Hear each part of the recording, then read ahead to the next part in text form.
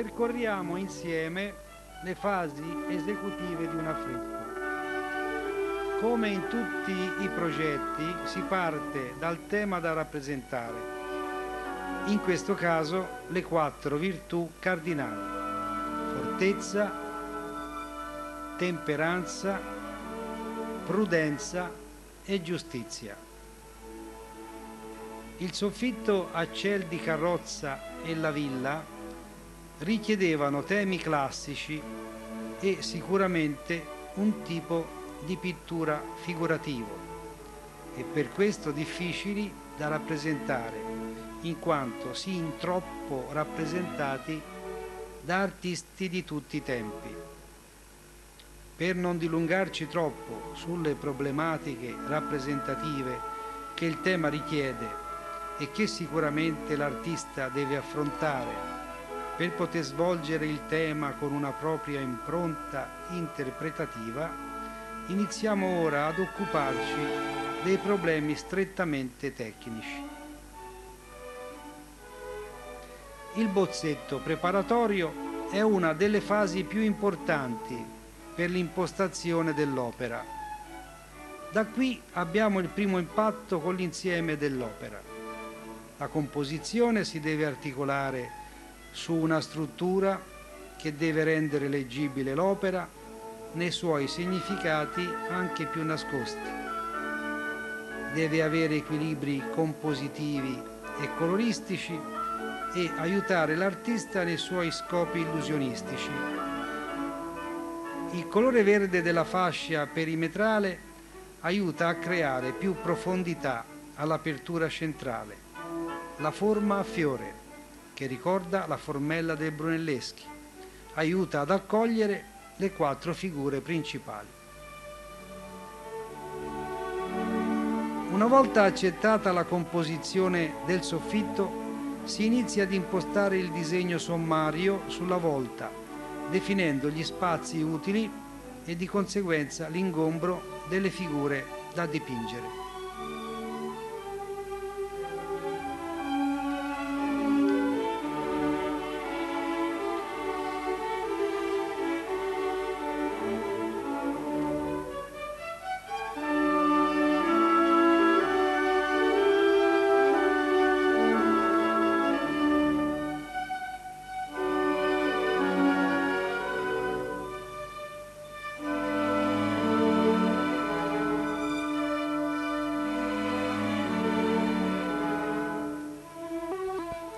Sui cartoni si disegnano i personaggi a grandezza naturale. Questa fase sostituisce quella della sinopia, cioè quella dei disegni fatti direttamente sull'intonaco, a riccio, trattati con il color sinopia. Da qui il nome.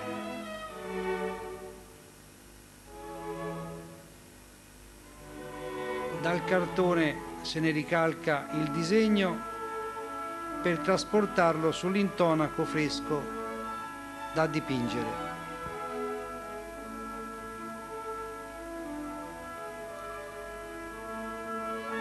La figura umana, per la sua complessità, necessita di un più approfondito studio a pastello del particolare della testa. Il muratore ha una parte molto importante per la riuscita dell'affresco. Il soffitto ha già avuto una lunga preparazione prima del momento dell'esecuzione dell'affresco stesso. Presentava intonaci marci poco aderenti al soffitto, quindi sono stati demoliti e rifatti con un intonaco, tecnicamente chiamato arriccio, composto da calce e sabbia di fiume grossa e lavata, cioè senza impurità con le giuste dosi, due di sabbia e una di calce. Prima di usarlo, l'arriccio va conservato all'umido per qualche giorno e poi steso sul muro inumidito. Lo spessore si aggira intorno al centimetro. A questo punto l'arriccio deve asciugare bene per poter assorbire l'umidità dell'intonaco che il muratore che qui vediamo all'opera sta stendendovi sopra. Questo è il velo, cioè uno strato di calce e sabbia, questa volta più fine di quella dell'arriccio, ma con gli stessi rapporti di 2 a 1. Si applica l'intonaco per quel tanto di porzione che si potrà dipingere nella giornata, perché la calce ha una durata limitata, non solo per se stessa, ma anche in relazione alle stagioni. L'inverno è la stagione più adatta, in quanto con un tempo umido l'intonaco dura più a lungo e quindi dà al pittore più tempo per dipingerlo.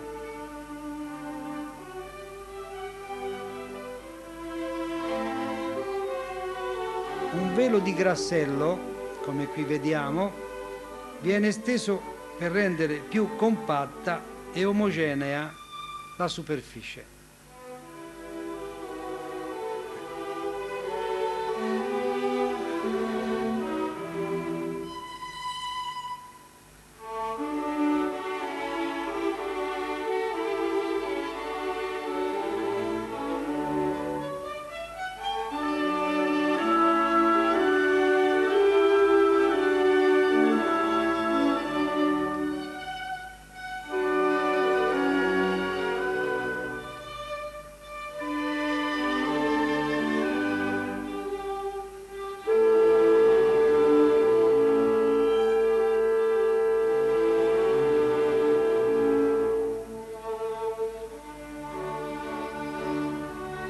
Lo spolvero già precedentemente preparato viene appoggiato sull'intonaco fresco e quindi ricalcato con una matita facendovi una leggera pressione.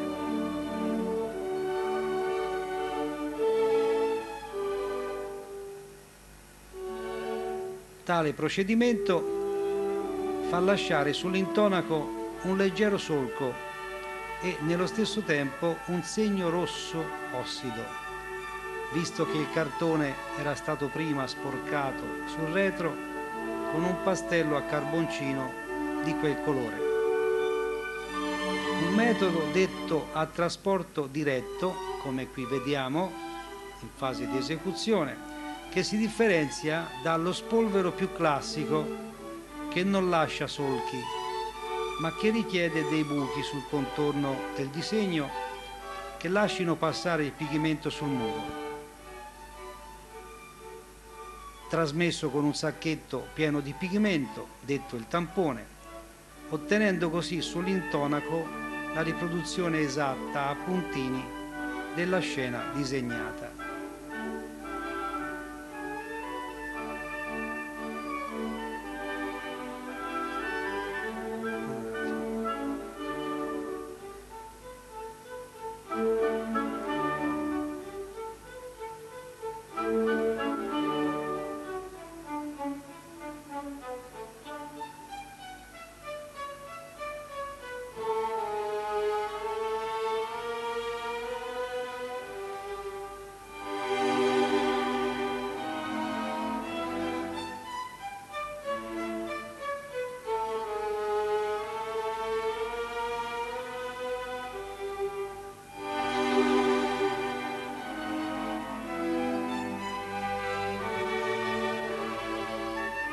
Passa ora alle prime fasi del colore, uniformando la superficie con una velatura di rosso ossido per non far bruciare il colore, cioè per non far schiarire oltremodo i toni chiari e per far trasparire questo tono e non il colore dell'intonaco sulle pennellate più trasparenti.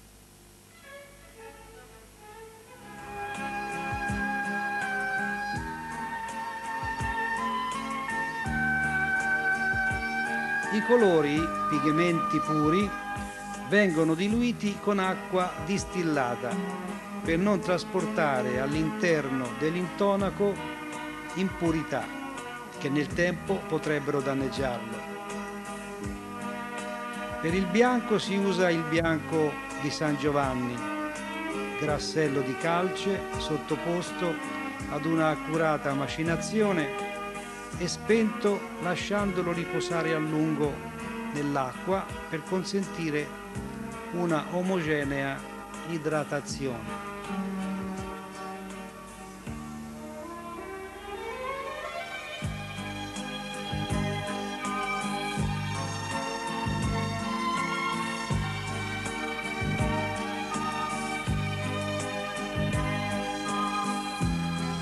I primi toni dell'affresco sono applicati sull'intonaco più densi dei successivi, con solo acqua e pigmento.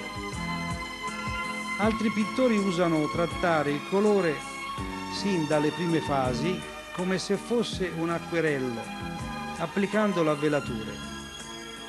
Ma come si fissa il colore sull'intonaco se il colore, o meglio il pigmento, non è fissato da nessun legante chimico naturale. Colore nell'intonaco ancora umido si combina con i gas carbonosi dell'aria e si trasforma in carbonato di calcio, divenendo una superficie compatta che chiude in sé il colore. Il carattere dell'esecuzione dell'affresco è la rapidità.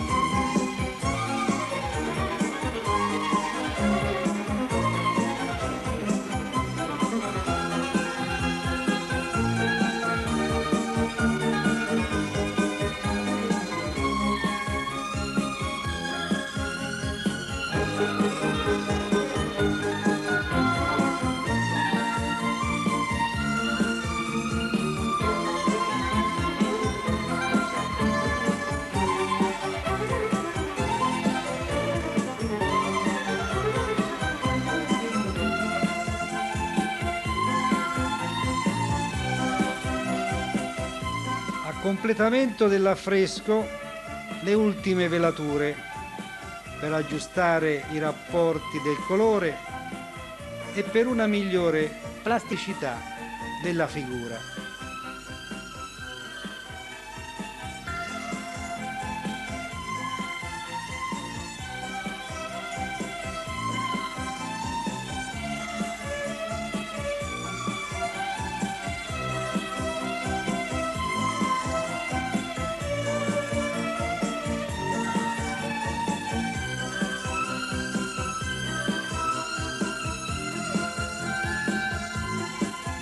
Alla fine della giornata il colore quasi non viene più assorbito dall'intonaco. A questo punto si deve porre fine all'esecuzione dell'affresco perché l'intonaco, asciugandosi, ha perso la sua forza nell'assorbimento del colore.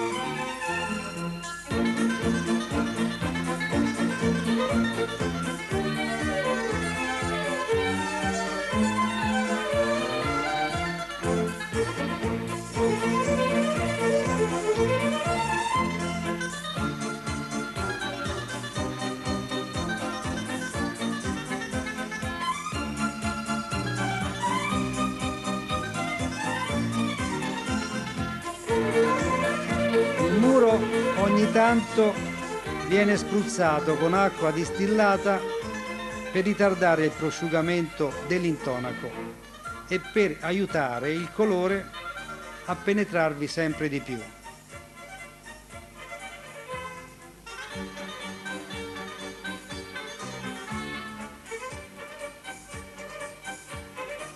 Sempre a fine giornata si asportano le parti d'intonaco che sovrabbondano.